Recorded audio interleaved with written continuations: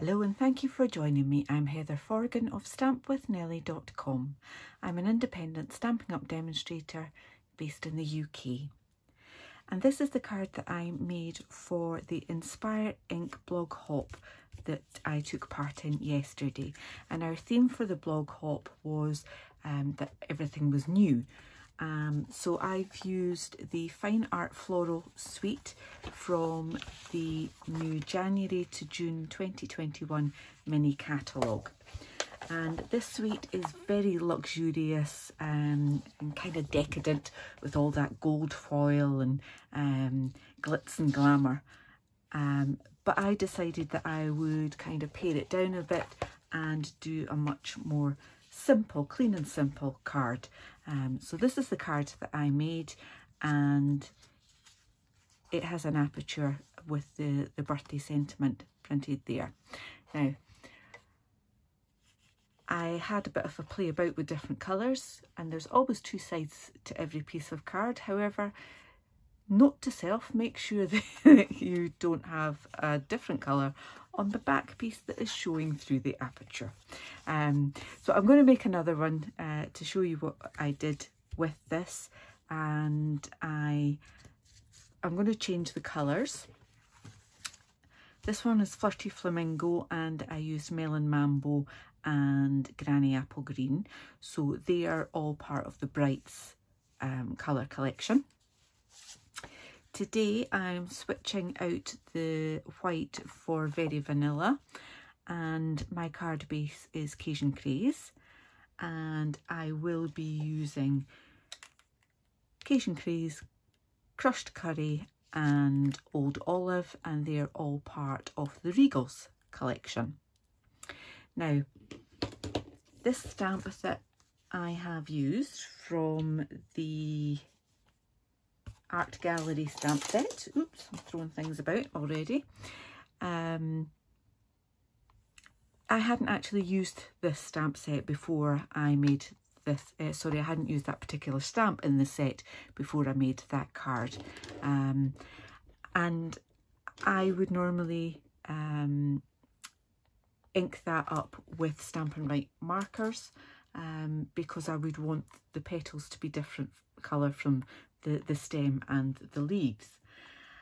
When I did that though, I didn't find that I got a very good um, impression. So what I eventually did was to mask up the main bit of the stamp that I don't want to have um, my main colour on.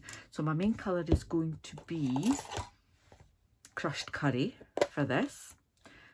So I want to use the lighter uh, colour on the bottom. Now, I want to make sure that I've got that well inked up. And then I can take off my masking. So I've just, I've used a post-it note, sticky note for the, to cover up the big bit at the bottom there. And uh, some washi tape along the side there and try and not get ink all over my fingers. Mm, possibly have not succeeded at that. Um, and then I'll use, I think my problem was I didn't get a good impression because there's it's quite big bits to that and when you use the Stampin' Write markers um, the ink does kind of dry um, quite quickly.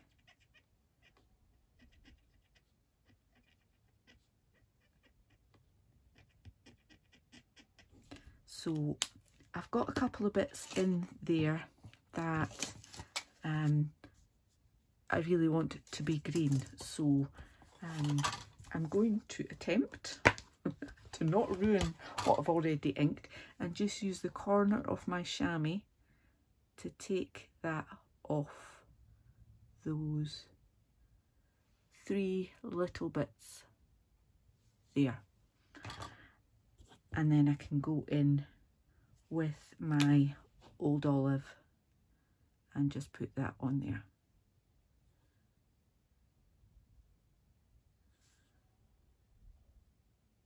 I think I'd left a bit of the yellow on there but um, blend it in with my the green. That's not a problem.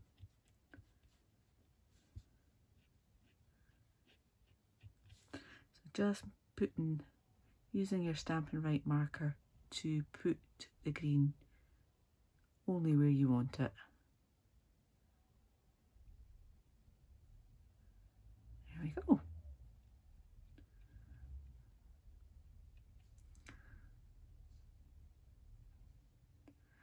Just the magic bit with this is that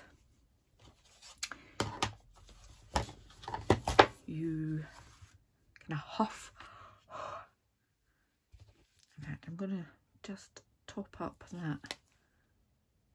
So it seems to have pooled in the middle in the time that I've taken to do the other bits. Okay, so quick huff and pop that on there.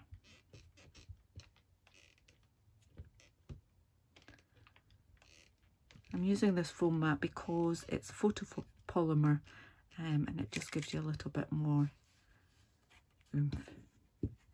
So there you go, we've got much clearer impression there with the crushed curry ink than had I done that big area with just my marker.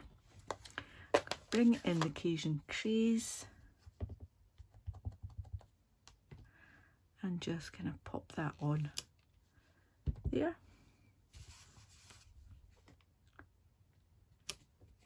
There's no real precision to this as you can tell. And I'm trying not to let you see my messy hair by getting right over the top. And I kind of think it looked a bit better if you have a little bit of the other colour on these little bits as well just very abstract but just kind of pulls it more together for me. Um, okay so I need to die cut that now.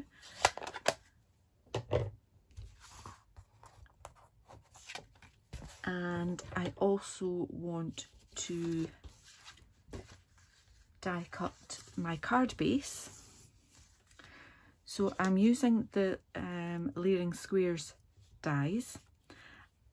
And I want to have my smaller one cut out on the card base like that. So I'm just I'm going to get a clean bit of washi tape not one of the bits that I've inked up. Just try and make sure that's central. Put that down. So I'm going to die cut that and I am going to die cut my flower. So I will be back with you in just a moment.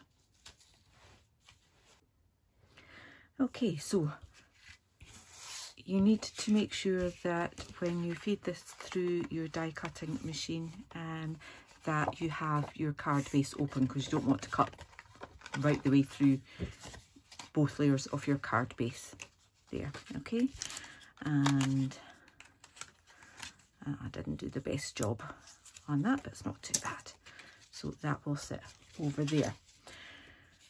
I've got one piece that will go inside my card base and we'll stamp that. Um, but I've also got a piece that I want to layer on the front. Now,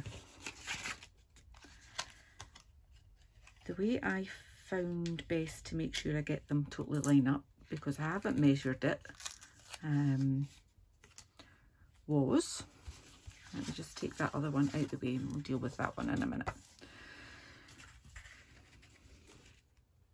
So that is where I want it to be.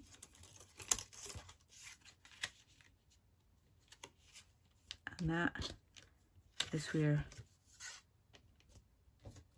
that needs to be. So I then want to just judge where that goes like that. Take that out the way, washi tape that and then I can die cut that as well. I don't think I've got that very straight, have I? Let me just try doing that again. So I've got that straight on there.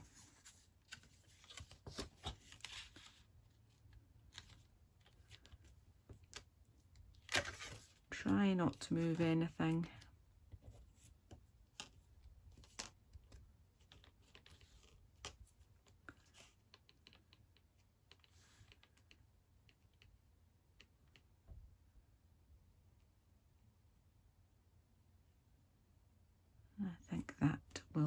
Do the trick. Take that out the way. So I'm going to die cut that and then I'm also going to emboss that with the painted texture embossing folder. So bear with me a moment and I will be back with that. Right, so that's that been die cut and embossed now. Moment of truth. Does that line up? Yes, it does. So I will glue that in place and I will also glue that in place.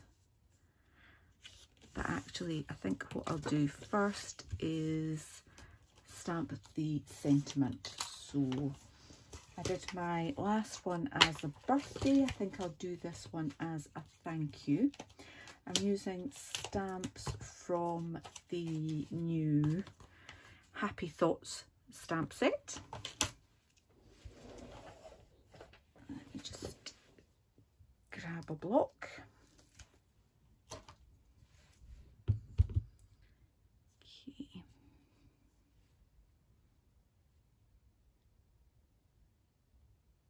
Oh, I forgot to take the backing off.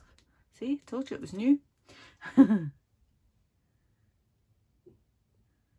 we go. Uh, so I'm going to stamp that with Cajun Craze. Yeah, let's do Cajun Craze. No, actually, I'll do crushed curry. We've got enough Cajun Craze with the card base being that colour.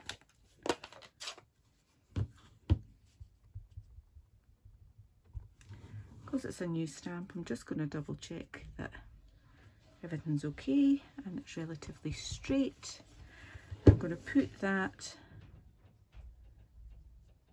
as if it was glued down. I'm not gluing it down yet in case I make a horrible mistake with my stamping.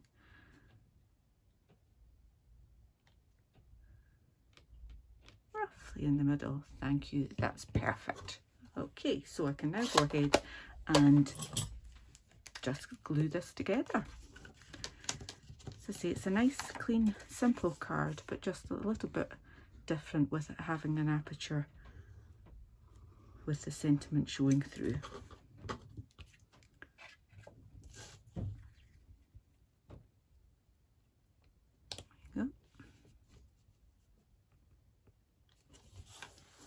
that in there. And that goes on there.